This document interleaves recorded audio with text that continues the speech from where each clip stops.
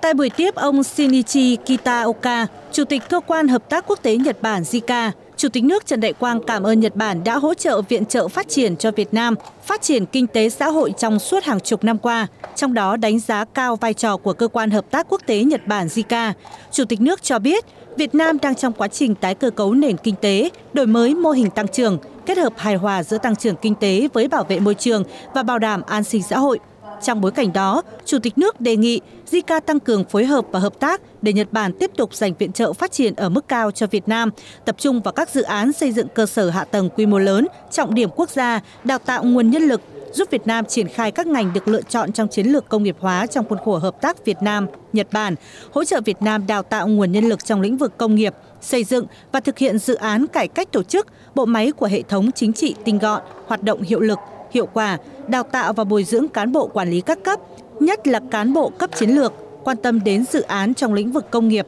nông nghiệp sạch, công nghệ cao, tiếp tục hợp tác giúp Việt Nam nghiên cứu các giải pháp lâu dài ứng phó với biến đổi khí hậu. Ông Kita Oka khẳng định, JICA sẽ tiếp tục nỗ lực hết mình để đóng góp cho quan hệ hai nước được tăng cường mạnh mẽ hơn nữa, trong đó chú trọng nâng cao giá trị gia tăng trong ngành công nghiệp, chính sách ứng phó với biến đổi khí hậu và kế hoạch đào tạo nguồn nhân lực cho Việt Nam.